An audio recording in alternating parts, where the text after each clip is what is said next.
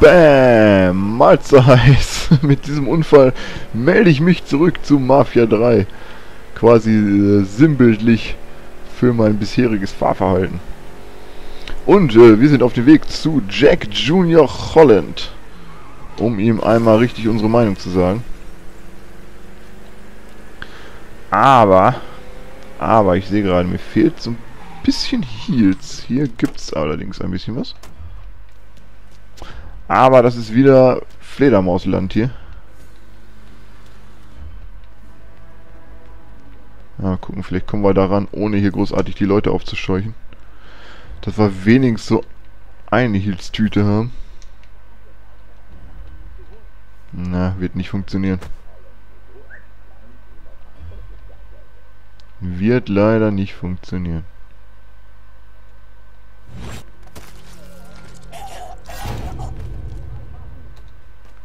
Dich, du Arschloch! Jetzt geht's los! Alter vor Schönheit! Ich hol die Nein. Jetzt kommt auch noch Verstärkung. Ich fass es nicht. Na, du, genau du. Nein. Nein, komm schon, beweg dich. Beweg dich. Ah, ich hoffe, der ist nicht mehr durchgekommen.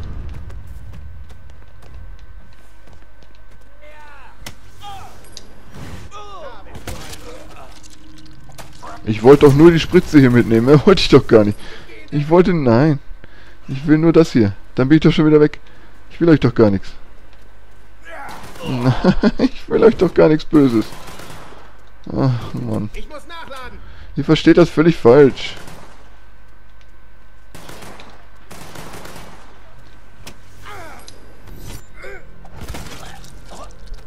Das war doch alles gar nicht so gemeint. Ja, Verstärkung kommt, glaube ich. Ich muss hier weg.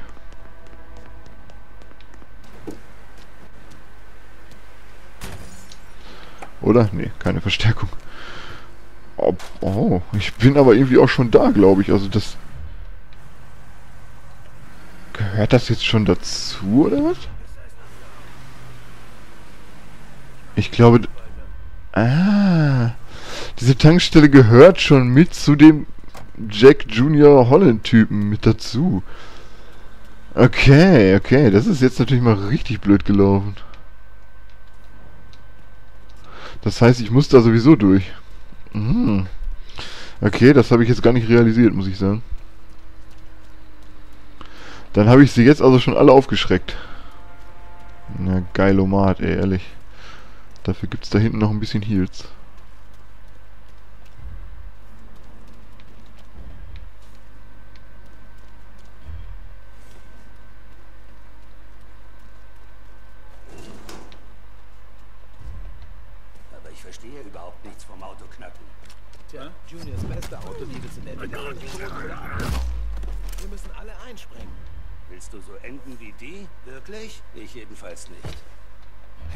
Willst du Junior einen Korb geben? Nur zu. Bis dahin, halt deine verdammten Augen offen. Hey! Verdammt nochmal! Komm schon. Ich mache ihn alle!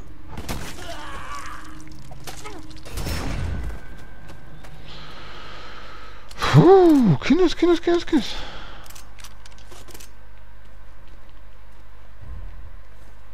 Okay, die sind aber auch alle schon wieder so ein bisschen aufgescheucht jetzt hier. Verstehe ich gar nicht.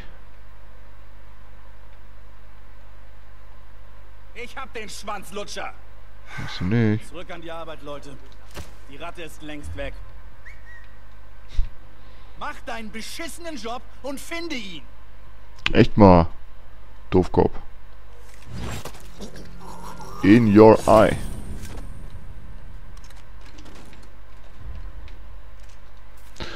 Gut, okay. Also, wir haben uns wieder einigermaßen gefangen hier. Hier liegt noch jede Menge Sicherungskram und so rum.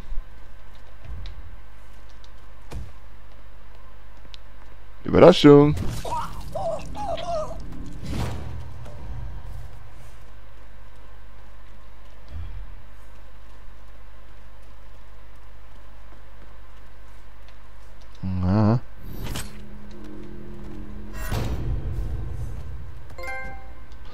So, Kampfspezialist bin ich. Guck an.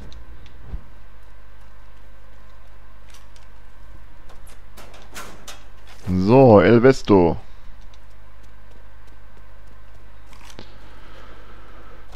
Huiuiui, nach, nach der Anfangsphase muss ich sagen, haben wir das jetzt wieder einigermaßen unter Kontrolle, würde ich sagen.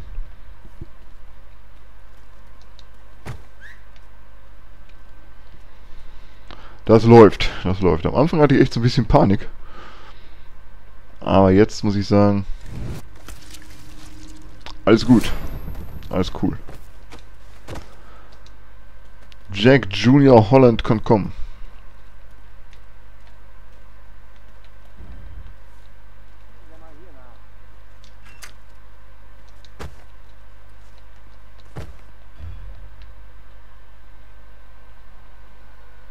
Hi.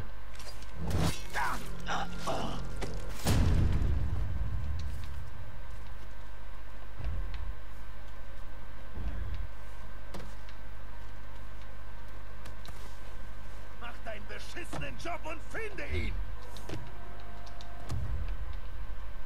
Schrei mich nie an. Bin sensibel, du Arschloch. Okay, hier rennen natürlich doch jetzt nochmal so ein paar Jungs rum. Und da hinten ist auch noch einer hinter mir. Wir haben hier eine Leiche! Oh, Scheiße. Überprüf die andere Seite. komm du mal gerade her zu mir. Na? Was machst du denn? Was machst du denn? Was machst du denn? Was machst du denn? Was machst du denn? Was machst du denn? Seriously? Lincoln! Das gibt's doch nicht! Was ist denn dein scheiß Problem? Was machst du denn? Warum killst du ihn denn nicht einfach? Oh Mann, ehrlich. Das gibt's doch nicht. Ich hatte doch alles unter, alles unter Kontrolle. Und dann... Oh, ehrlich. Was soll das denn? Du sollst doch nicht mit ihm spielen. Du sollst ihn einfach töten. Jetzt habe ich wieder alle Heals verballert. Für nix. Für nichts. Mann, wie ärgerlich. Scheiße! Er ist weg! Verdammt nochmal! Okay. Wo wollt ihr dann suchen? Ach, Mann, ehrlich.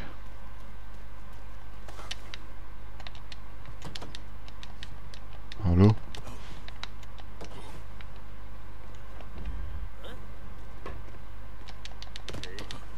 Wo wollt ihr dann suchen? Einer unserer Jungs ist tot!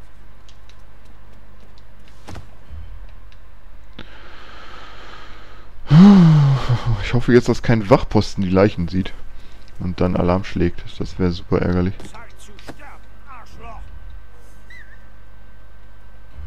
Ich sage, wir versuchen's in dem Bereich. Ich würde sagen, haha, da bin ich nicht mehr.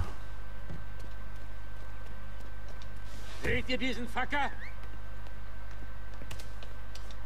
Ihn! Ich gehe in Deckung! So, jetzt wird's dann wieder spaßig.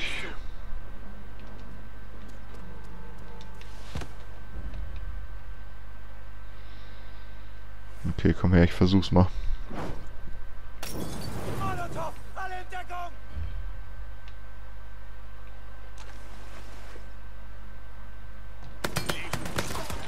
Molotov! Alle in Deckung! Scheiße. Scheiße. Scheiße. So, Jack Junior Holland, du bist meins. Meins Opfer. Wo sind jetzt deine dicken Eier? Boah, das war ganz schön anstrengend.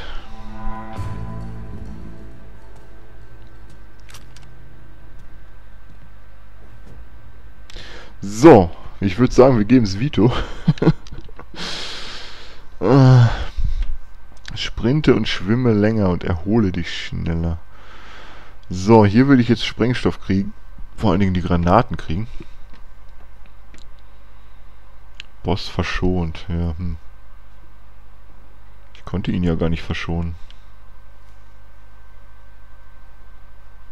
Nein, den ersten kriegt jetzt Cassandra einfach. Ja, obwohl, nein, komm. Burke, wegen der Sprengstoffgeschichte.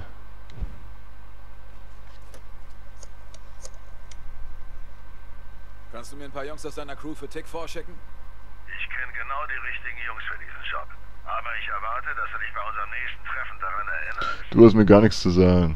Du Irrer, Ire.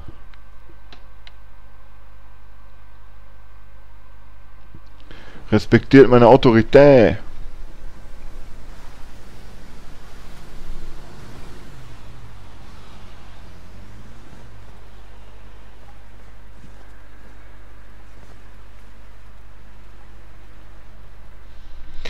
So, das heißt, jetzt müssen wir wieder erst durch die ganzen Gebäude durch, um wieder in dieses Büro zu kommen. Warum bin ich Priester geworden?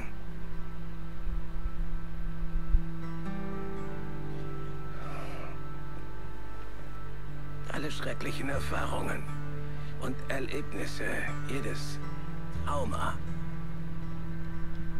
All das wirst du nicht mehr los. Klar kann man versuchen, sie zu vergessen. Eine Zeit lang, aber wenn das nächste daherkommt, wenn es noch so klein ist, kommt sofort alles wieder hoch. Es erinnert dich an alles, was du mit dir umschleppst. Ich wusste, dass ich das allein nicht schaffen kann.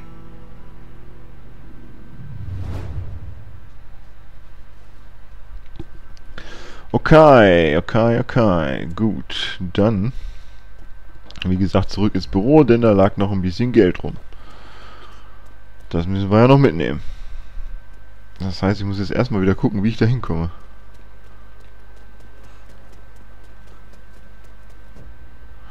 C4-Ladung legen. Halte R1 gedrückt und drücke dann Square. Ladung sprengen, drücke wieder R1.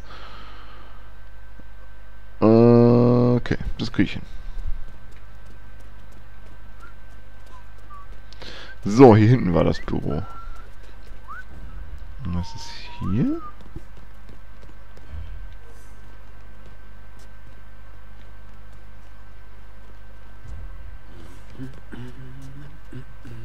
Keine Ahnung.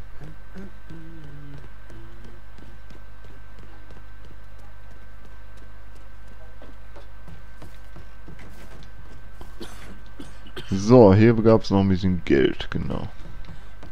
Da vorne habe ich noch eine Sicherung gesehen, wenn mich nicht alles täuscht. Da unten. Ja, überlebe ich das? Easy.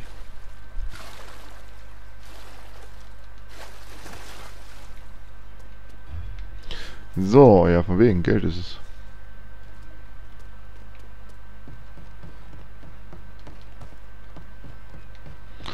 Gut. Das war die Junior-Tüte. Dann müssen wir jetzt hier erstmal wieder einen Weg rausfinden. Gesagt, getan.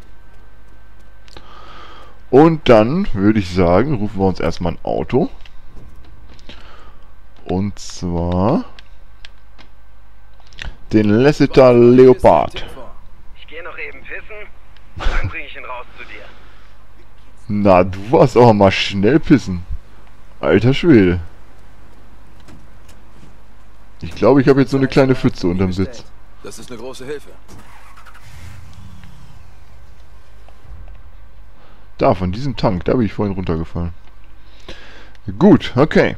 Also ich könnte jetzt zu Donovan, ich kann aber auch erst mal gucken, dass ich gleich meine Kickbacks gesammelt kriege. Als allererstes. Und dann äh, können wir vielleicht so ein paar Zusatzkapitel nochmal machen. Truck stehlen.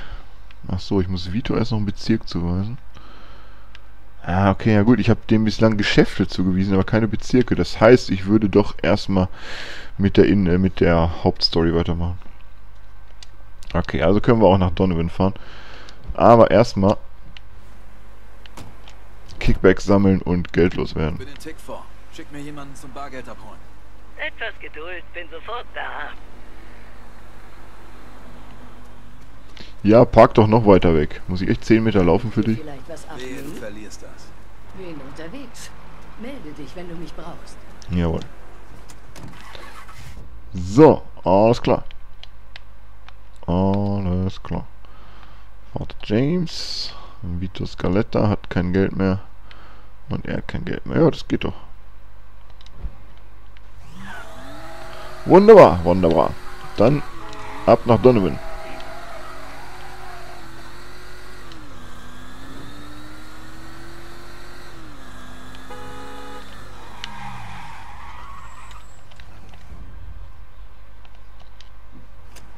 Gleich.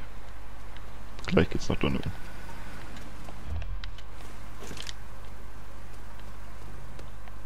Immer herein in die gute Stube. Okay. Dir klaue ich kein Geld, weil du so nett zu mir bist. Dir klaue ich nur deinen Waffenschrank. Das wird ja wohl erlaubt sein. Ich glaube, ich brauche diese Weste dringender als du.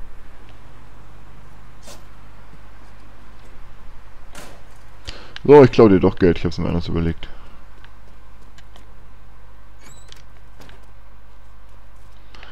Und ich bräuchte ja immer noch so ein bisschen Heals.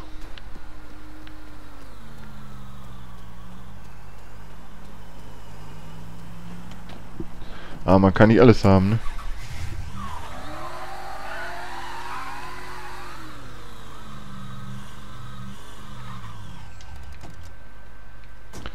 So, hier soll es auch noch mal was geben.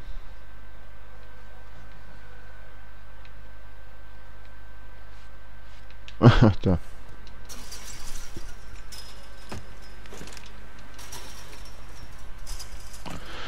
Okay. Lincoln away.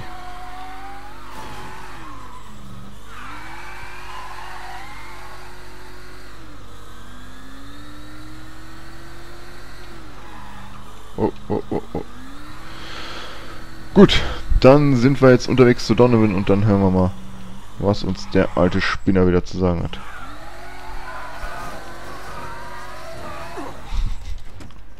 Total unauffällig.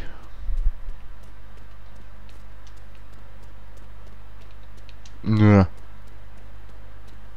Diesmal muss ich echt hier hin. Ich krieg ein Signal von dem Gerät, das du an Frank Paganis Wagen angebracht hast. Er ist also wieder in der Stadt. Und bestimmt ganz wild darauf, deine Bekanntschaft zu machen. Da würde ich drauf wetten. Das Signal ist stabil, den Rest schaffst du allein. Benutzt den Tracker, den ich dir gegeben habe. Bis später. Okay. Wir tracken uns einen Pagani.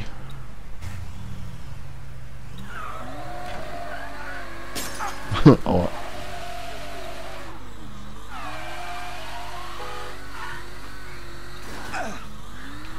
So, wie funktioniert das jetzt hier?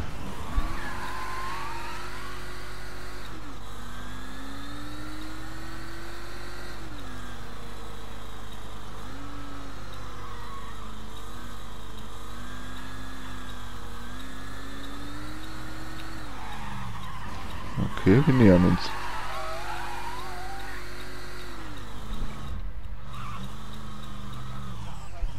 Scheint der richtige Ort zu sein. Unverletzt überstanden. Ich habe einfach das Gefühl, als hätte ich die besten Zeiten verpasst. Die goldenen Zeiten. Na, kommt schon. Hä? Suchen wir es mal hier. Doch Scheiße, was. Immer schön einer nach dem anderen. Ich habe genug für euch alle. Ach, das klappt ja schon wieder super. mehr. Ach, Mann, ey.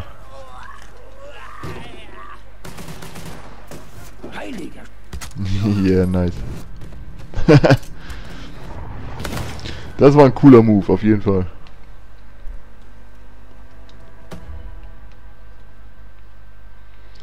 Okay, keiner hat was mitgekriegt. Aber alles gut.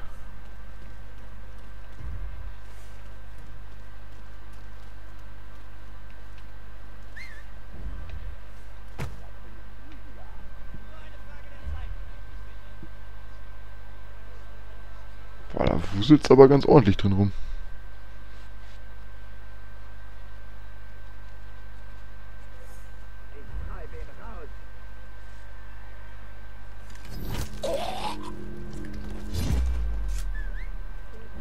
Nächste.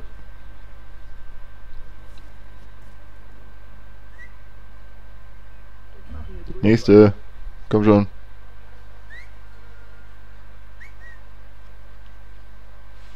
Na, fuck. Jetzt kommt er hier an. Sehen wir mal hier nach.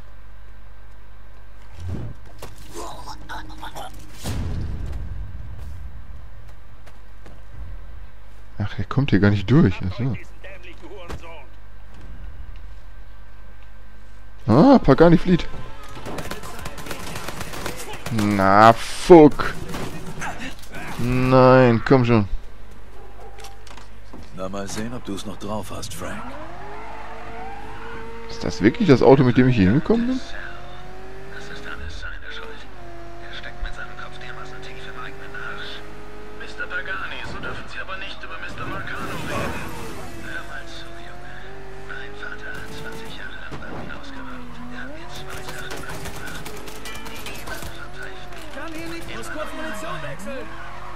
Nein, komm schon.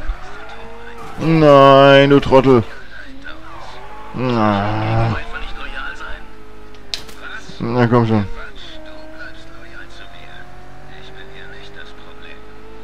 Ach Mann, ich hasse Verfolgungsjagden. Ich hasse sie.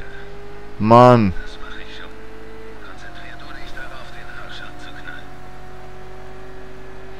Ja, das dauert jetzt, glaube ich, bis wir den wiedersehen. Ja, da ist er schon.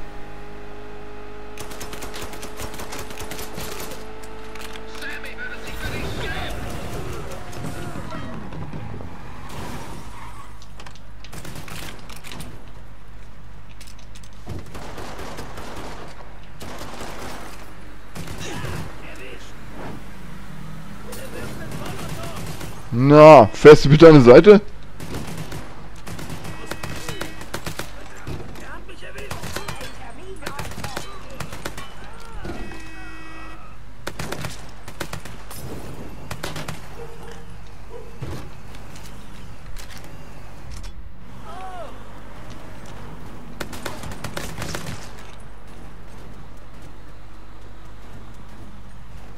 Na, na, komm schon.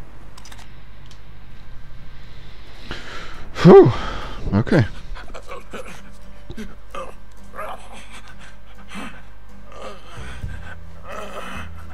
Ich hab dir doch nichts getan. Aber ich habe sehr interessante Sachen gesehen. Eine Menge Blüten und eine Presse. Mir fehlt nur noch die Verbindung zu Kuba. Bitte. Ich habe innere Blutungen. Ich brauche einen Doktor. Ich habe eine Frau und drei kleine Töchter. Du willst einen Doktor? Dann erzähl mir jetzt lieber, was ich hören will. Also, das ganze Zeug da. Cell hat das alles geplant. Aber die Blüten haben nichts getaugt. Ich sollte noch einen Mann ins Boot holen. Einen gewissen Alvarez. Ein Fischer arbeitet für Castro. Hat er dir auch die Platten gegeben? Platten? Ich dachte, das weißt du. Wegen dem Raubüberfall. Der Raubüberfall. Marcano wollte die Druckplatten der Bank. Ja. Wo steckt dieser Alvarez? Wo? Einer von Tommys Leuten nahm ihn mit. 10, 15 Minuten bevor du aufgetaucht bist. Wo ist er mit ihm hin, Mann? Wo? Ha? Töchter. Nein. Nein. Fuck!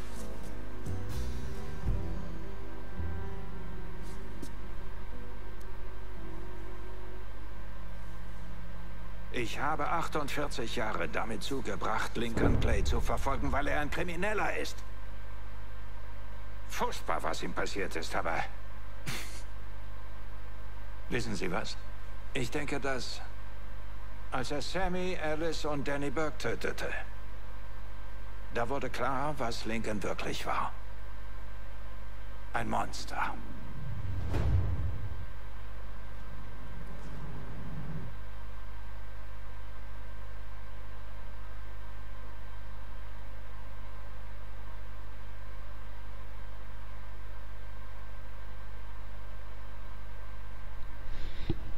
So, so. Alles klar. Dann an dieser Stelle, weil hier gerade das Spiel so schön lädt. Okay, es kommt auch noch eine Zwischensequenz. Sonst hätte ich jetzt Schluss gemacht, aber das gucken wir uns jetzt gerade noch an.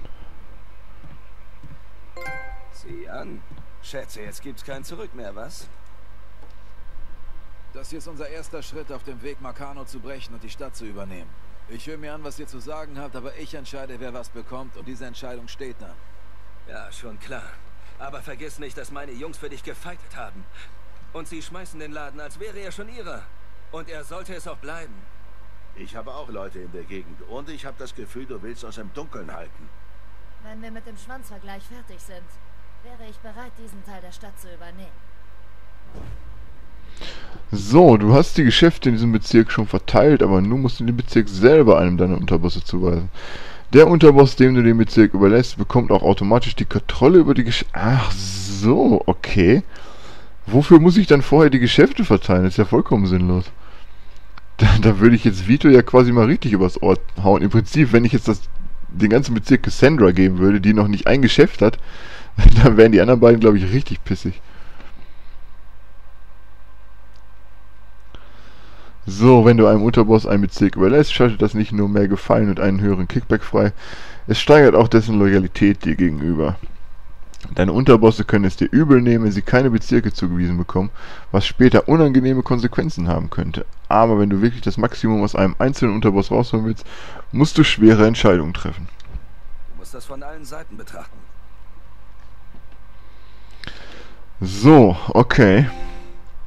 So, der nächste, Gefa äh, nächste Anruf bei Vitos Verbündeten geht aufs Haus. Bessere Ausdauer und Erholung für Vito und dafür natürlich auch ein bisschen mehr Kohle. Cassandra keine Veränderung. Burke würde mit, mit der Kohle ordentlich runtergehen. Und ich würde das Sprengstofflager verlieren. Oder er würde das Sprengstofflager verlieren. Du musst mir zeigen, dass es dir ernst ist mit unserer Zusammenarbeit. Bei Cassandra hätte ich eigentlich nur nur Schwierigkeiten. Ich würde den Insider verlieren bei Vito, was richtig ärgerlich wäre. Und Sprengstofflager bei Burke, das heißt, diese ganze C4-Geschichte würde ich nicht mehr kriegen. Könnte allerdings mehr Munition tragen. Wie sieht's aus? Lass mich hier nicht im Regen stehen. Also bei Berg würde ich auch Vito verlieren, was die Insider-Sachen angeht. Ich muss es Vito geben. Gib mir die Schlüssel zum Königreich. Verliere ich zwar das Sprengstofflager bei Burke und ich verliere bei Burke auch jede Menge Geld. Ist auch blöd, ne? Ich kriege 40.000 bei Vito drauf und verliere 62.000 bei Burke. Du und ich, wir haben eine Abmachung, oder? Na gut, aber alles in allem, es muss Vito sein. Der hier geht ans Skeletter. Wird auch langsam Zeit. Ich wusste ja immer, dass du was in der Birne hast. Wenn du beim Reinkommen schon deine Entscheidungen getroffen hast, dann sag es doch einfach verflucht und hör auf, meine Zeit zu verplempern. Ihr könnt auf den nächsten Bezirk warten. Denn den hier krieg verdammt nochmal ich. Das war's für jetzt. Ich lass von mir hören, wenn ich was brauche.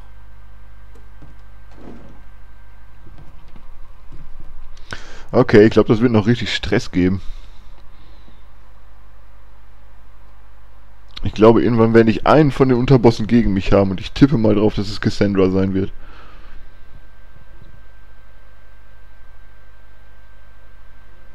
Hör zu, ich habe dir ein paar Namen genannt und zahl dich dafür, dass du sie findest. Also erzähl keine Scheiße. Ja, okay. Mach's einfach. Mann, Mann, wenn man nicht alles selber macht, dann... Ne. Alles in Ordnung? In dieser Nacht. Sammy war so erleichtert. So hatte ich ihn noch nie gesehen. Durch das Geld dachte er, dass wir alle von Marcano unabhängig werden. Dieser Wichser! Was zur Hölle hat Frank dir gesagt? Marcano hat uns die Bank ausrauben lassen, um an die Geldplatten zu kommen. Georgie musste sich während des Überfalls geschnappt haben. Wieso ist mir das nicht aufgefallen? Darüber haben wir doch schon geredet. Das ist alles nicht deine Schuld. Doch, genau das ist es. Kerl ist wie ein Geschwür, ein Aasgeier. Er hatte immer vor, euch alle reinzulegen. Schon vergessen, was er mit Vito gemacht hat? Er hat deine Familie ermordet.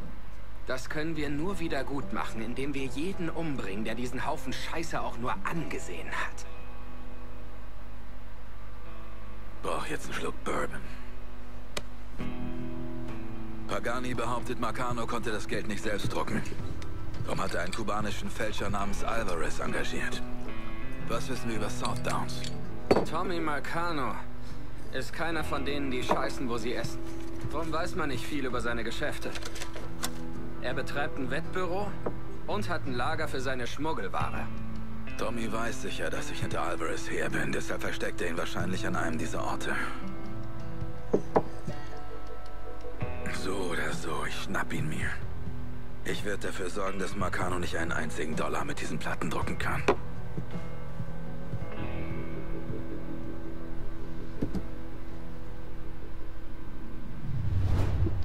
Okay, A Man with a Plan and a Bourbon. Mafia Arts 3 habe ich da hinzugewonnen.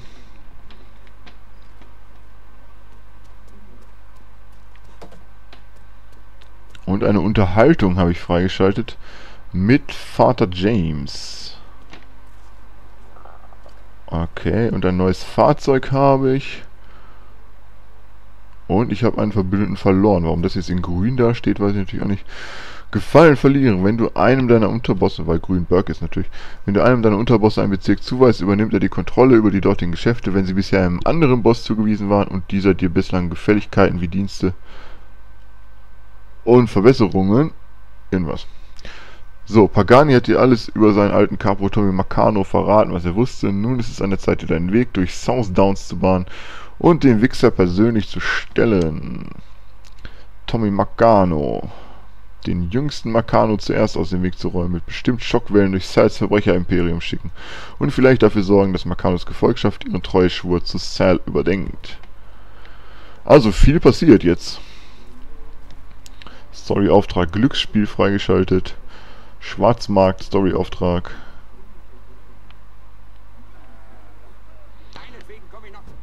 Okay, also es ist jetzt eine Menge wieder passiert hier. Jede Menge Story-Kapitel. Und ich kann jetzt auch wieder den nächsten Gefallen für Vito machen. Das heißt, ich kann zusatzkapitelmäßig weitermachen. Und kann zu Vater James. Gut, aber jetzt soll es das erstmal gewesen sein. Ja, alles klar. Danke fürs Zuschauen. Das war's erstmal mit Mafia 3. Im nächsten Teil geht's weiter und äh, wir sehen uns dann. Ciao.